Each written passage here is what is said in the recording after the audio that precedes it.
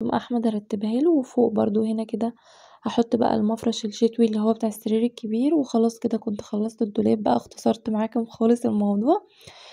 شيلت بس المشايات اللي في الأرض عشان دلوقتي هنزل تراب من فوق الدولاب وهنزل برضو من علي النجفة وكدا فمتتبهدلش معايا.